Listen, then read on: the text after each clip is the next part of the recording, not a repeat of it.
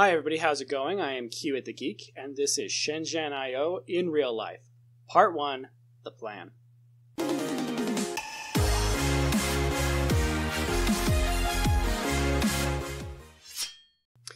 Okay, so for a quick introduction, this is Shenzhen IO. Uh, it's a game where you play as an embedded systems engineer and you solve puzzles using assembly language and microcontrollers. The reason this drew me to it is because I am an embedded systems engineer and I thought it would be fun. So I had this idea to take the first project of the game, the first puzzle, which is a fake security camera, and make it in real life. Go through my process of what I do to actually develop circuit boards and write firmware. And so we're going to go through and uh, in this part, we're going to talk about how we're going to accomplish all of that. Um, we're going to talk about a quick schematic that we're going to sketch up we're going to mock up a quick 3D enclosure, and we're going to talk briefly about how we're going to accomplish this through firmware. Um, the next episodes, uh, episode two is going to be actually creating that schematic and creating the board. Episode three is going to be doing the 3D modeling uh, for the mechanical enclosure. Episode four, we're going to handle the firmware. And episode five, we're going to bring everything together. I'm actually going to fabricate all of these things. Uh, I'm going to order professional boards from China, and um, I'm going to 3D print the enclosure. I'm going to go through and build everything up and show you how this entire project would work. So, to start off, let's go through the actual puzzle. Okay, so this is where we start out. So, you can see the, the first attempt here from somebody who is starting the project, um, they've got the first portion, which is blinking this red LED. So all we're going to be doing for this project is we're going to be blinking two LEDs off and on. This first LED follows this pattern here, so it's going to be off. It's going to turn on for a set period of time, turn off again, and turn back on. It's going to be periodic, and it's just going to repeat.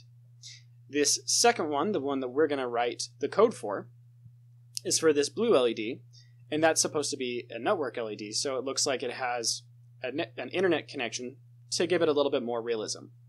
So you'll see here it turns on off for a shorter period of time.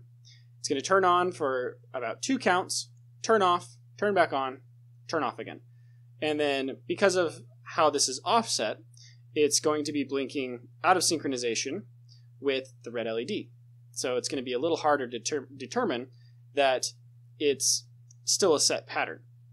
So what we're going to do is we're going to grab the MC4000 here and drop it in right below. We're going to draw a trace and connect it to this output, and we're going to start writing our firmware.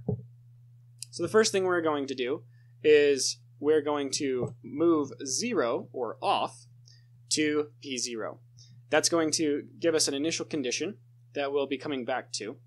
Um, and now we're going to sleep for four counts. Next, we're going to move 100, or an on signal, to P0. We're going to sleep for two counts and leave it on for two counts.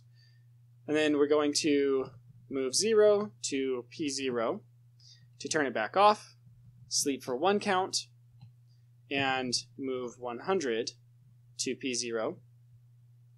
Oop, P0. and then we are going to sleep for one count. Okay, so as you can see, this is running the way we expect it to. We got this one blinking off and on, and this one's giving us our sporadic pattern that makes it look like it's our network signal. So everything works there. Now let's move on and look at the schematic and how we're actually going to do this. Okay, to start out, the first thing we're going to get is our uh, microcontroller here. So we're just going to draw this down microcontroller. Okay, so um, that's going to be the main brain of our project. And then we're going to have some capacitors here.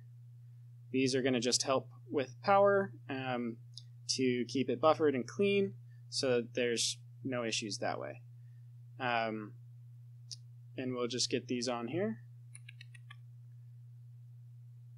And we're going to power this off of a standard coin cell battery uh, which is going to be the CR uh, 2032. And that's going to be our ground rail right there. Okay, so the next thing we're going to do now is we're going to grab our LEDs. We're going to have some resistors here that are going to help with current limiting so that the LEDs themselves don't uh, get fried. And so we've got the two LEDs. We're going to have our red and our our blue.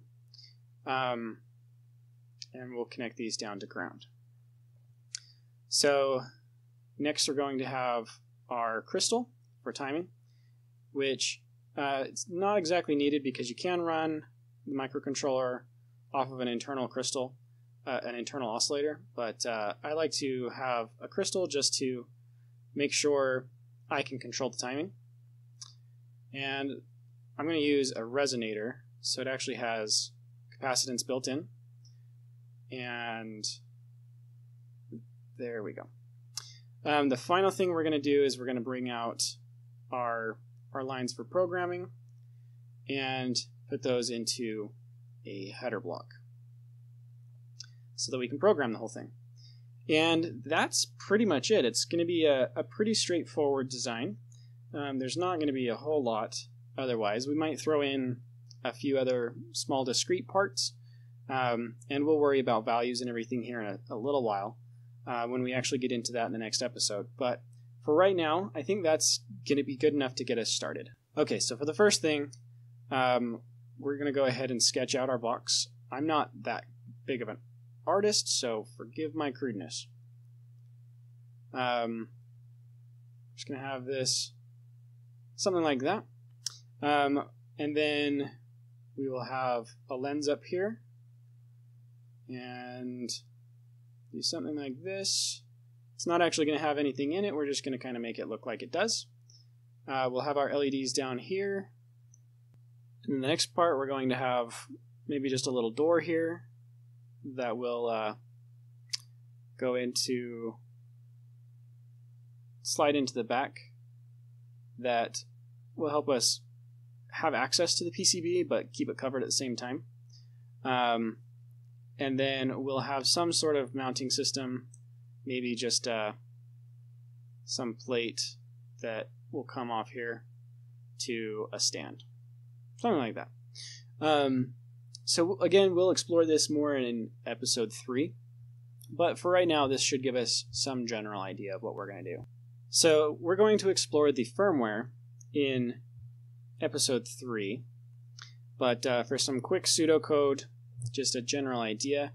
Uh, we're going to have, let's call this LED on, and we're just going to link that for one second. And then for LED, let's call this net for our network.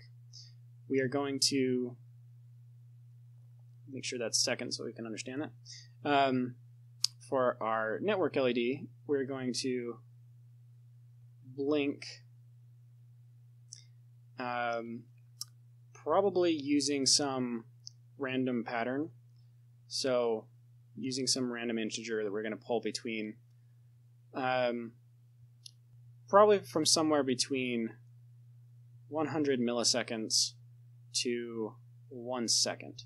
And I think that should be pretty good for us. There's not going to be a ton with this that we're going to have to worry about, um, other than when we do get to this randomizing portion. Um, but the firmware should go fairly quick. This isn't really that difficult of a, a project. Um, and as you saw earlier, the the firmware in assembly was pretty straightforward. And when we're going to be using what I like to call Arduino C, um, that shouldn't take us too long at all to really get this written up. We will explore that further in episode 4. All right, so that's pretty much it. As far as it goes, that should be fairly straightforward. Um, and so, over the course of the next several episodes, we're going to go through and design the board. We're going to go through and design the box. We're going to write the code, and we're going to do the assembly.